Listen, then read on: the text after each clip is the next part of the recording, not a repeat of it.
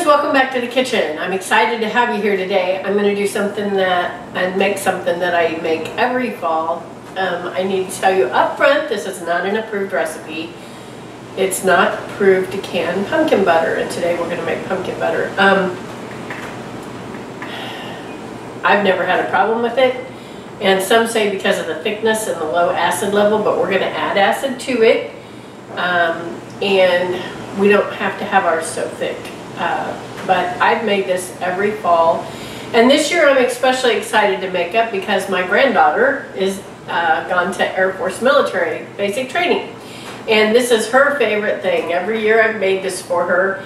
Um, well, a lot of people like to have it nice, you know, over a nice hot biscuit or some homemade bread or something like that. I'm pretty sure she eats it with a spoon. So, you know, whatever works for people, right? So we're gonna do, we're gonna use these little pie pumpkins that I got. Um, first thing I did was wash them. Turn my oven on to 350 uh, and be sure that your knife is really, really sharp. I sharpened mine, but we'll see how sharp because these are tough. Um, we want to cut these in half Oh, see, my knife doesn't feel so sharp, but I did sharpen it. So we're going to cut these in half, and uh, we're going to bake them. Now, there's some people who will throw this right in the crock pot. This is going to be a crock pot recipe, but I like the flavor that baking something first gives it. So you can also do this with a can of pumpkin. Uh, that you buy at the store. You don't have to go get these tough little pumpkins, but I like I like this flavor. So I wanted to use the real pumpkins. Um, the canned pumpkin isn't real pumpkin. And we're going to cut these open and we're going to scrape the seeds out. All right. Looks like we've got this one. I've got my oven heating up. Okay, it's full of seeds. Before you throw these seeds away, I want you to know that pumpkin seeds are delicious toasted. And on a medicinal side, did you know that pumpkin seeds are one of the best anti-parasitics you can get? Yeah, pumpkin seeds, you can feed them to your animals. People feed them to their chickens, their pigs, um, and people eat them as an anti-parasitic. And they taste delicious. You can even flavor them up. In fact, We'll do a video on pumpkin seeds, um, and we'll make a couple different kinds. I like them just with salt and pepper on them. They're really good roasted that way. But uh, when I was a little girl, I remember my uncle roasting pumpkin seeds. And they're good on a salad, everything. So, um, okay, here we have our pretty much cleaned out pumpkin. Oh, you can also save the seeds to grow a pumpkin. There's that too. So we're going to clean this half out and save the seeds from that. You know, separating the seeds from the pumpkin guts sometimes isn't fun, but you can. I do it. I do it every year. I save them and eat them. So, okay, I'm going to do the other one, and I'll be right back. Ah, pumpkin guts. Okay. Um, I went ahead and cut the stem end off. I cannot wait to make this and mail her some. She's going to be so excited. Um, seeds are out. So I'm just going to lay these face side down, cut side down on my pizza stone. This is kind of, this is the hardest part of the whole entire making of pumpkin butter, is just getting the stuff out and getting them cut. Okay, this is what they look like. And I'm going to lay these on my pizza stone and let them bake until I can poke a fork in them uh, and I'm not sure they're all going to fit on here. Maybe so. Um, I'm going to go ahead and put one in a separate baking dish. I'll put three on the pizza stone. I just love the way the pizza stone uh, cooks. So I'll get another baking dish for the other one. All right, so here we go into the oven with the pumpkins that I have on the pizza stone. And I'm going to have to move that over because it's too tall for that. And then the one that I put, the other one I put on a glass baking dish and that'll be fine and it fits right in there perfectly. Okay, we're gonna shut that until we can poke through them with a fork. All right, it's time to check our pumpkins. See how that fork just pokes in really easy into that pumpkin? That means it's time to take them out of the oven and we're gonna let them cool until we can handle them. All right, so now that our pumpkin is cooled, we're gonna peel. I started peeling the skin off the pumpkin and it peels off really easy once it's cooked. And we're gonna cut this up into cubes and put into our crock pot. Now, I'm actually gonna do this in two sessions because I have somewhere that I have to be and I don't have time to let this cook tonight and can it. So I'm actually going to cut this in cubes and uh, put it in the refrigerator. If you don't want to do that, just skip the step of putting in the refrigerator and move on uh, to the seasonings and everything that you add to it from there, which I will get to next.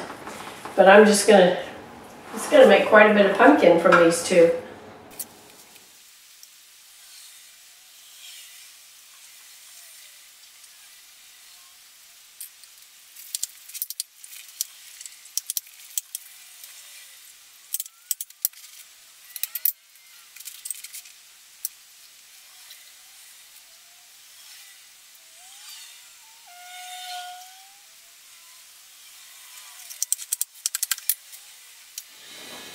All right, that was a messy procedure there, but we got it done. It wasn't hard. The skin peels off pretty easy once it's cooked. This is what I'm left with. That's quite a bit, so I'm excited. Um, like I said, I have to go somewhere, so I'm gonna stick this in the fridge. If you don't, just skip this going to the fridge step and uh, move on to the next step.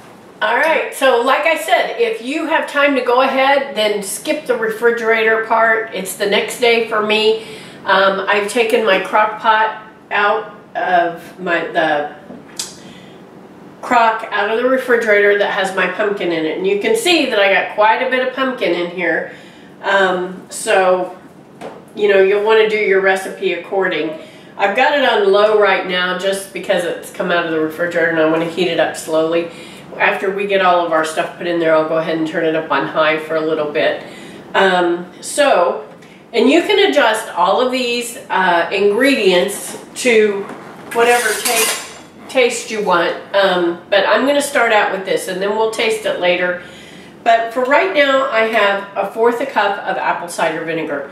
Remember I told you that we'll need to put acid in it so that we can can it, even though this is not an approved recipe. We have about a fourth a cup of fresh squeezed lemon juice. We're going to put that in there. I have two tablespoons of pumpkin pie spice plus a tablespoon of cinnamon because I like to go heavy on the cinnamon flavor and we're going to sprinkle that in.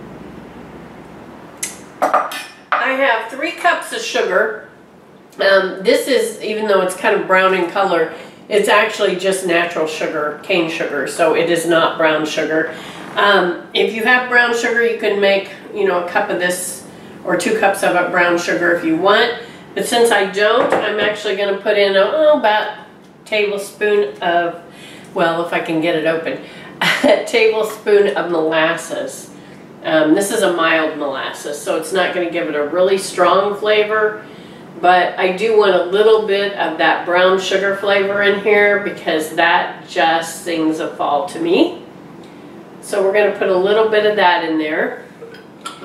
Um, and we're going to put just a little bit of salt.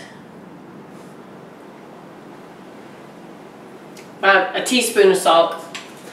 And last but not least, we're going to add about a tablespoon of um, vanilla. Now I make mine homemade and I'm going to have a video coming up on that because we're going to make some for Christmas gifts, which I should have already had going by now. But we're going to put about a tablespoon of homemade vanilla in there. There's nothing like homemade vanilla. Once you've done it, you won't want to buy store-bought anymore. Okay, we're going to stir this up and we're going to let this sit and get hot and cook down. Now, I don't know how long yet. We're going to, it depends on how much pumpkin you have, um, how much pumpkin you're dealing with. And for me, as you can see, this crock pot is pretty full.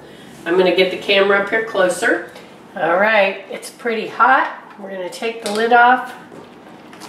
Oh, it smells so good in the house. Everything smells like cinnamon. All right, I've been stirring it on occasion. It's pretty thick in here. So I'm going to, because we don't want it too thick to can up, I'm going to add just a little bit of water to this. You can decide what yours looks like. Had I put the pumpkin raw in here and cooked it from the raw stage, it might not have been this thick, but because I baked my pumpkin, but I wanted that baked flavor in it, um, it took it baked some of the moisture out of the pumpkin, so that's why we sometimes have to add a little bit of water back in to make it. But look how good that's cooked down. Um, the next thing we're going to do, I'm going to add just a little bit more water. Then we're going to use an immersion blender on it and get it all blended up. And that'll mix that water in too. So let me grab my immersion blender. All right, let's carefully blend this because it is hot. Got another piece of pumpkin rind in there. Still finding a piece or two here and there. That's still pretty thick, so I'm going to add just a little bit more water to it. We want it thin enough that it's going to be safe to can.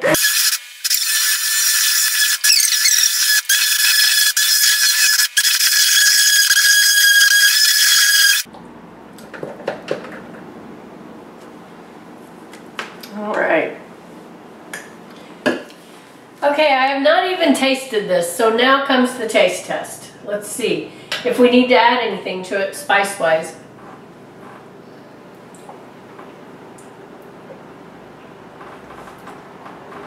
You know what I think I'm going to add to it? Is another cup of sugar and let it cook for a little bit. It needs just a little bit more sweetness. But it's delicious. And the cinnamon and all the spices of the pumpkin pie spice. Mm. So I'm going to grab a cup of sugar and add to this. Okay, so I went ahead and added two cups of sugar and another tablespoon of um, vinegar to this. So I'm going to let it cook a little bit so that the vinegar taste is out and so that that sugar gets all dissolved in here. And it's pretty hot. It won't take long. I'll probably let it cook for another 15 minutes. And in the meantime, I will start sterilizing my jars and uh, get them ready to go. So we'll come back and we will can this up. The sugar also makes it a little bit thinner in consistency too, as you can see as it's dissolving in there. So that was helpful. All right, see you back in a minute. All right, so we're back and our pumpkin butter is ready to can up. We're gonna take the lid off. Uh, I went ahead and turned it back on high because I wanted it to be really hot when I started putting it in my jars. I took my jars out of just having them sterilized in the water. I boil them for three to four minutes. And I'm going to fill these jars to, and shake them down to about an inch head space, half inch to an inch head space. Again, this is not an approved recipe, so this is, you know, if you do it my kitchen, my rules, your kitchen, your rules. If you're not comfortable canning it, you can freeze it. You can put it in jars. Leave about an inch and a half headspace if you're putting it in jars that you want to freeze so that um, it can expand and not break your jars. So I've got quite a bit here actually. Um, probably way more than I have jars ready.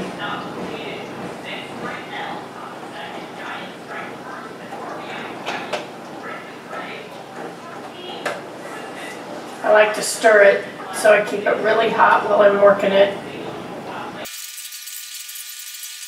Alright, so um, I'm going to set this up over here. I'm going to wipe these down so that uh, in case I got anything on the edges. And I'm going to go ahead I, I, want, I don't want anything to keep these from sealing. And I'm going to go ahead and cap them off. I've got my pan of water boiling on the stove, my water bath canner. So, oh, I just got that in there, so that's not good. Let me get a brand new one. You never want to cut corners when canning. It's too much work to have something go wrong, so let's, uh, let's can these up one at a time here. I'll go ahead and do them.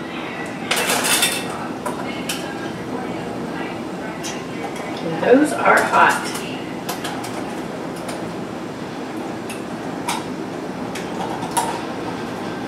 Just lightly finger tighten, don't tighten too tight.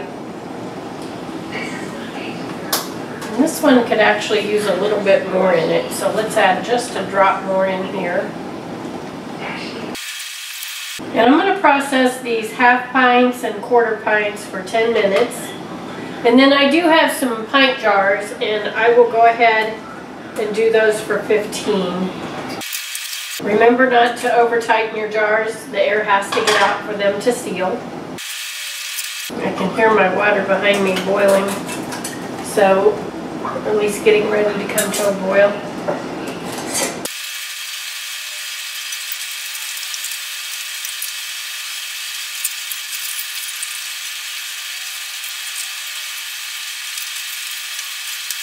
Alright, I'm going to get these in the canner, process them for 10 minutes, and get the rest of them jarred up. I'll be back. So I've just taken out the last of the beautiful jars of pumpkin butter. Um, look how gorgeous it is. It's popping. So often we talk about making things and putting it on, having it to put on our pantry shelf. But I want to say one of my favorite things about making stuff um, is that you can share it with others. I'm excited. Today's pretty much been a day in my kitchen of making stuff for other people.